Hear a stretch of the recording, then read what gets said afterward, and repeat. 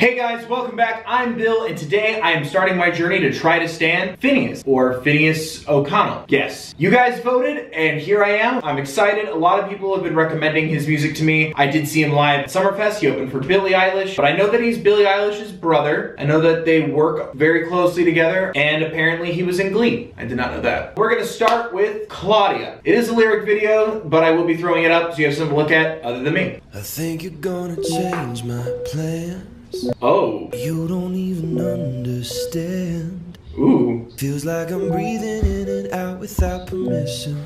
good lyrics. But I'd love to drive you home. That's chivalrous of you. It's got a good sound. Feels like I'm breathing in and out without permission. Okay, little voice waver there, little lilt. Drive you home. There you go. That's not how you kiss. That's CPR. Wow. I really liked the vibe of that. Like a less intense, like kind of grunge kind of sound, kind of like uh, Gorillaz. I really like that. Or the subject matter is a little traditional, but it's the verbiage of it. These lyrics are so interesting and they have such a strong dynamic. He has a soft way about his voice, but then when he like really drove it home towards the end, it just, it had such a stronger presence and impact and you felt this next layer of emotion, almost like you're kind of getting to know the person telling the story, singing the song, which is the face of the relationship that he's in with this Claudia. And I, I really like that. It felt light but personal. It felt like the start of something, and the more it kept exploring, the more it kept growing. It was the same way musically too. Like it starts with like that techno raindrop kind of sound, and then the guitar kicked in and the percussion started to swell, and it felt like it was just growing and being more developed. It's just good lyrics and a good sound. I'm sorry. I understand the lyric filling my lungs with air, but when it's under such romantic pretenses, I pictured someone making out and then just getting like breathed down. but I understand like giving him life, helping cultivate change and a new dynamic and a new interest in someone's life.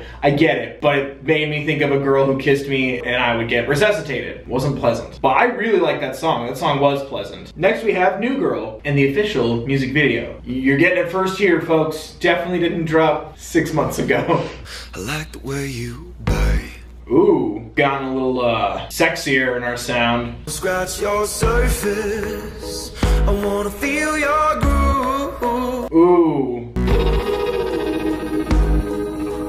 That's an Eilish sound.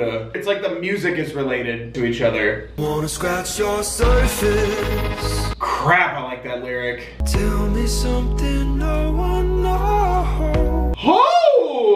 Some fancy Finneas. You wanna play with fire. Oh, damn. Did she hit him with a shovel? Been there.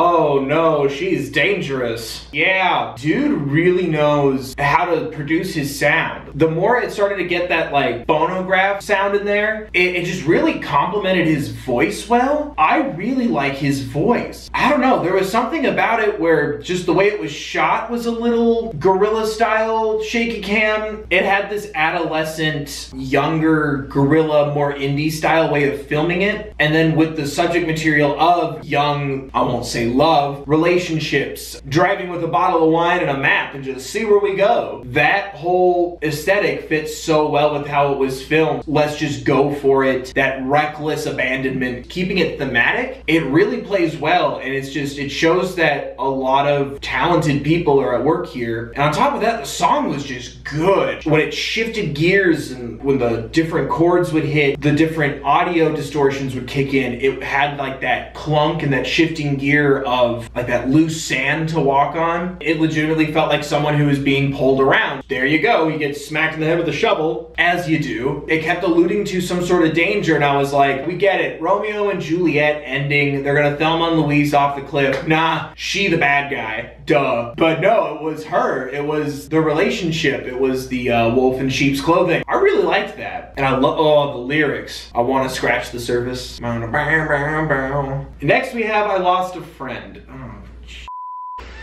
Going through a lot right now this week. I lost a friend. Like keys in a sofa. Like money on a bad bed. No, I'll be alright, but I'm not tonight. No, no. I'm on the mend. Like I'm wearing a neck brace. All right, there's some freaky shit in that field, dude. And I'll be fine without him. But all I do is write about him. Okay, moves like Jagger. That was really good. I lost a friend, I lost a friend. I Jesus, oh my god.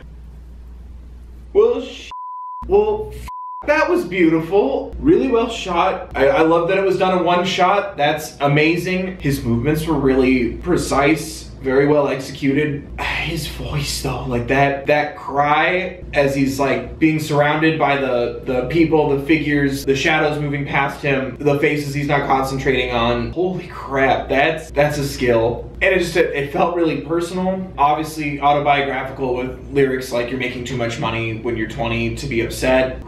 And it's that disassociation from saying things like that, like, you know, clearly people focusing on fame or money or his age they're not really listening to him. It's that discrediting feeling. It's that that attack on your experience. People are telling you to focus on other things but this is what he writes about this is what he thinks about these are the things that are affecting him. The song didn't lose control. It didn't rise. It didn't erupt with emotion. It just kept staying so cold and so placid. And there's something about that that just feels so genuine like him physically but then also musically he was just in a daze. But then there was just this wave this this like electric felt like that buzzing sound happening around you and not being able to register it or hear it. It felt like someone who's just completely phased out and in a daze that's such a powerful, successful way to illustrate that. I loved it. That that hurt. I Oh Jesus. The lyrics too, especially the beginning with the I lost a friend like I lost my keys or your wallet. Like just that like it like it's not registering yet or it just felt so sudden and out of your control and I don't know, to me there's just that little bit of like, well maybe I'll find it, maybe it'll be okay. Like that that like naive hope. Ironically as he sings about people discrediting him for his age, there's something so innocent about that too. It's just it it, it hits that extra layer. I really liked that that that song would have had to fight the fray on its best day and probably would have won. On that note, all right. Whew, next we have Angel. He's got it made. I've got an angel. I've got it made. The song? Don't look at me like that. No? Mm-mm. you. It's like a really sad office intro. You're in. Oh! That's where Avengers happened. Woo! Crap, dude! You're the home I'm missing. Nice. That's good. Beside a dream. Ooh! There you go. Ah! Why does it feel like something really bad happened? Mine. Oh, thank God it's a love angel. It's not a dead person angel. Oh, there dude. Yeah. That's that hurts my eyes to look at. I wow. I don't know how else to describe this. That felt like a real like banger of a slow dance at prom. Like that's a real look me in the eye, experience the song with me kind of a feeling. I was so scared that this was gonna have like a real bad twist, like you're an angel because you know you're dead. But instead, like sincere just admiration of somebody. Not just like, hey, like I like your smile and your hair and you know you got you got good old biddies. Like it was just straight up how this person makes the person singing the song a better person. You just felt this like rising, this increasing heartbeat. You just you can feel the song fluttering. Like it just it makes you excited, but yet you could feel like these musical breaks where it's this timid gingerness of not wanting to overdo it or like you don't want to scare someone away. Like it felt very delicate. Like this is the first time you're saying I love you to someone. And dude's voice, there was some tough stuff happening there and he just made it sound so effortless. Like his voice would literally just slide up and just soar. Waiting until the very end to ask, Are you mine? Like, are we together? It makes the song about the person, like whoever that song's about, it's a lucky person. It's just more delicate than, Hey, I'm gonna win you, I'm gonna take you, you're mine, property. Are you mine? Like, are you Do you feel this way too? Do you also want to explore this relationship? Are we together? And yeah, I would slow dance the hell out of that song. All right, next we have I'm in Love Without You, which sounds kind of like a breakup song. Please don't still love me. damn! Oh, damn! Each time you slam the door, my bloody knuckles knocking on it. Oh no. Please still love me. Yeah, no shit. That sounds like you were awful together. Yeah, dude! Cause I'm in love. I'm in love. Damn, man, be okay. Just worried for his voice there. Beside